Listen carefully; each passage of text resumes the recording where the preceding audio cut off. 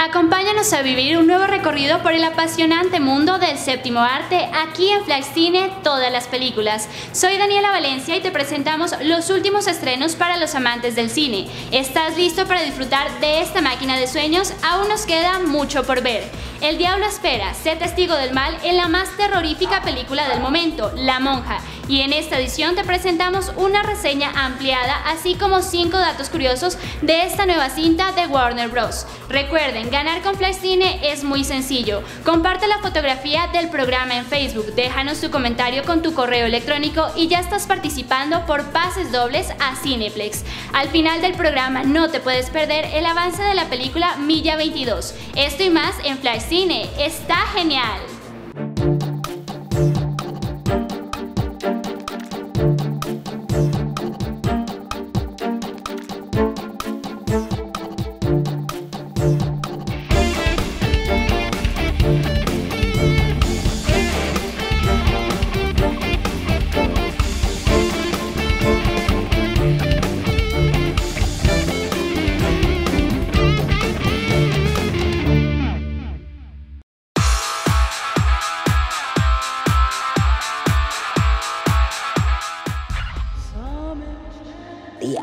Has a long history. Not all good. La monja. Cuando una joven monja se quita la vida en una abadía de clausura en Rumania, el padre Borg, Damian Beecher, un sacerdote con un pasado vinculado a los encantamientos, es enviado a investigar por el Vaticano, arriesgando no solo su propia vida, sino también su fe y hasta su alma. El sacerdote se enfrentará a una fuerza maléfica, la entidad demoníaca Balak, con la forma de la misma monja que anteriormente ya horrorizó a la audiencia en el conjuro El caso Enfield 2016. Ya vimos la terrorífica película La Monja y a continuación les comentamos qué nos ha parecido.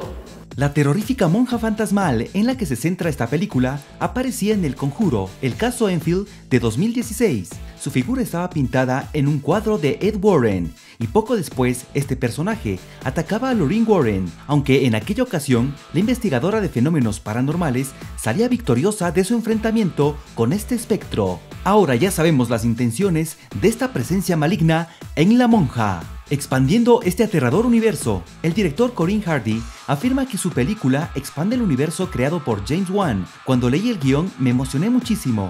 Hay un mayor sentido de la aventura. Hasta ahora el conjuro trataba sobre el mal entrando en una casa y sobre la gente de esa casa viéndose obligada a superar eso. Esta película va sobre el protagonista emprendiendo una aventura para detener el mal.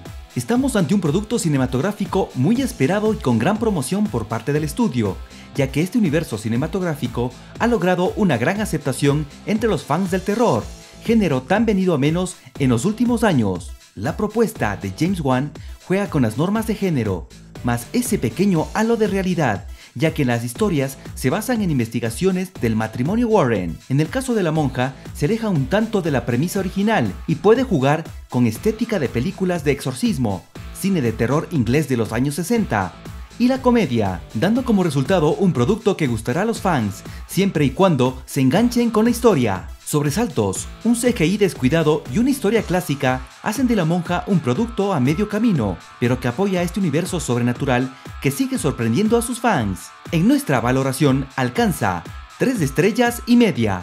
Para que el futuro te encuentre listo, estudia periodismo en AUTE. Inscripciones abiertas.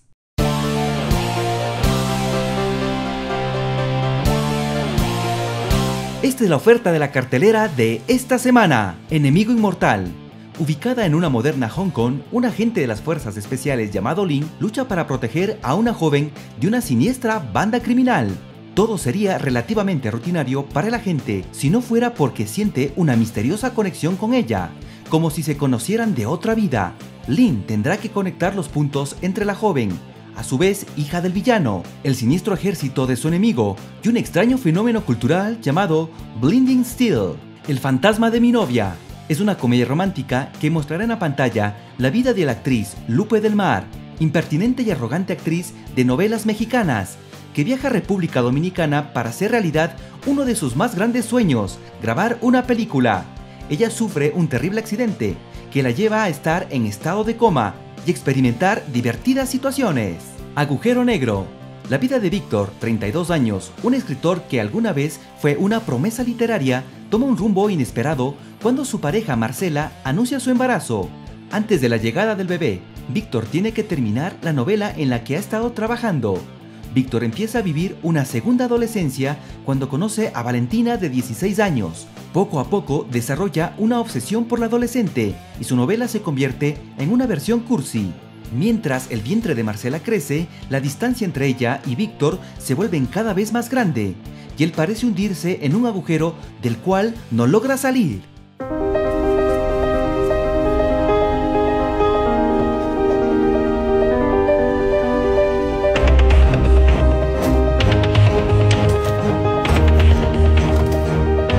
ese profesional que no sueña ser,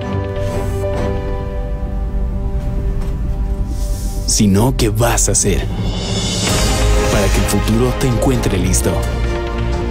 Bienvenido a la UTE. Trascendemos.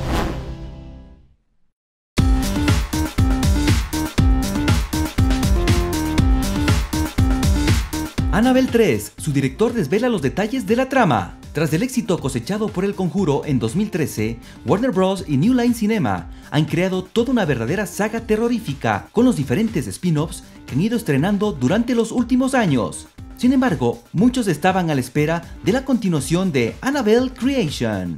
Annabelle 3 supone el debut detrás de las cámaras del guionista Gary Duberman, que ya se encargó del libreto de las dos anteriores entregas de la aterradora muñeca. Listo para plasmar de nuevo su guion, Duberman desveló algunos detalles de la trama de la película. Está ambientada en la casa de los Warren, dijo Duberman a Slash Film. Se trata de la pareja de investigadores de fenómenos paranormales Ed y Lorraine Warren. La nueva película explorará lo que sucede cuando la muñeca Annabelle, poseída por el demonio, entra en la sala de artefactos de los Warren, un tesoro escondido de posesiones embrujadas o malditas. ¿Qué diferencia a Glass de Fragmentado? Anya Taylor-Joy responde. El último trabajo del director M. Night Shyamalan se estrena en enero de 2019 y cuenta con James McAvoy, Bruce Willis y Samuel L. Jackson como protagonistas. La intérprete de 22 años es una de las jóvenes a las que secuestra la bestia, McCoy, en Fragmentado, y la única de ellas que ha tenido la oportunidad de continuar en la saga. Durante una entrevista con Collider, Taylor Joy ha confesado que no podía evitar emocionarse cada vez que levantaba la mirada en el set de rodaje y comprobaba el estar trabajando con Ellie Jackson. Siempre decía, Dios mío, ese es Elijah Price, es una locura. Con Fragmentado existía este sentimiento de estar viviendo una aventura y descubrir cosas nuevas. Había este sentimiento real de aventura con Fragmentado, mientras que con Glass todo era muy épico, cada día todo el equipo estaba realmente feliz de estar ahí porque sabíamos que estábamos haciendo historia en la industria del cine. Esto es algo muy grande. No pierdas la oportunidad de ganar junto a Flash Cine. Comparte la fotografía del programa en Facebook. Pon un comentario en la publicación con tu correo electrónico y ya estás participando por pases dobles a Cineplex. Vive la experiencia. Este segmento es auspiciado por PinUp Happy Together.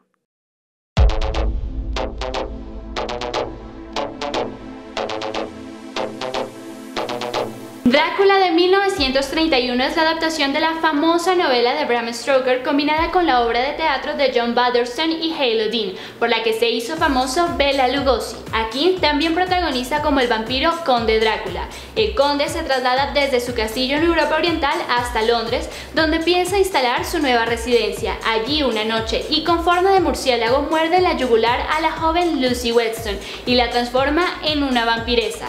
Después, Drácula empieza a interesarse por el cuello y la sangre de Vina Seward, a quien empieza a consumir poco a poco. Preocupado por el aspecto de su hija, el Dr. Seward se pone en contacto con el especialista Van Helsing, quien llega preparado para identificar el origen del mal que acecha el domicilio de los Seward y acabar con el temible vampiro antes de que convierta a Mina en una no muerta como él.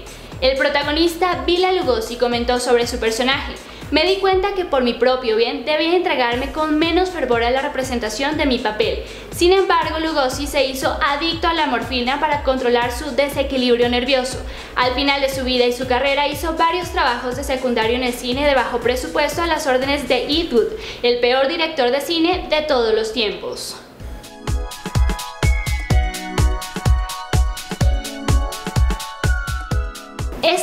Spin-off de la franquicia El Conjuro está centrado en la entidad demoníaca Balak, que aparecía en la película original.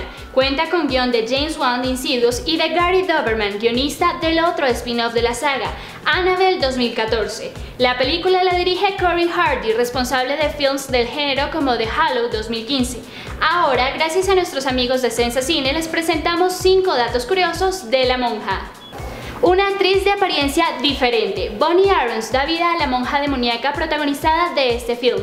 La actriz estudió interpretación en Nueva York, pero debido a su apariencia y su nariz le decían con frecuencia que nunca triunfaría en Hollywood. Actores que odian el terror, tanto Bonnie Arons como Damian Beecher, reconocen que no son grandes admiradores del terror, pues odian ser asustados, aunque sin embargo afirman que disfrutan rodando este tipo de películas. ¿Por qué el demonio es una monja? En la película Balak se representa con el aspecto de una monja porque a este demonio le gusta profanar el cuerpo de espíritus benignos de la iglesia, como monjas o monaguillos. Balak era el gran antagonista de El Conjuro, el caso Enfield 2016, y también se ha manifestado en forma de The Crooked Man, ser del que también se está preparando una película. Un entorno distinto.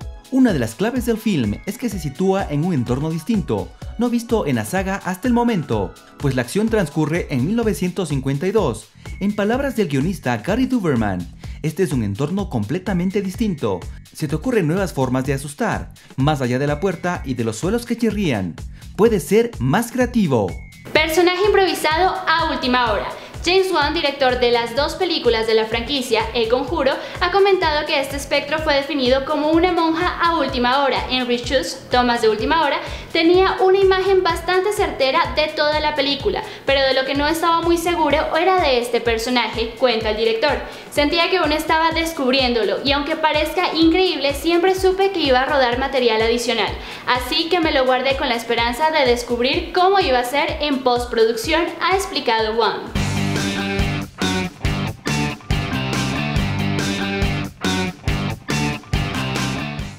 Cinéfilos, gracias por acompañarnos en esta nueva edición de Flash Cine Todas las Películas. Recuerden seguirnos en Facebook, YouTube e Instagram. Den like e interactúen en nuestras redes sociales. Esto fue Flash Cine. Hasta la próxima semana.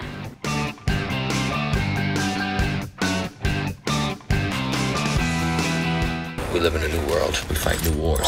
22 millas de persecución. Y 90 minutos para cumplir el objetivo. Mark Wahlberg en Milla 22, El Escape, solo en cines.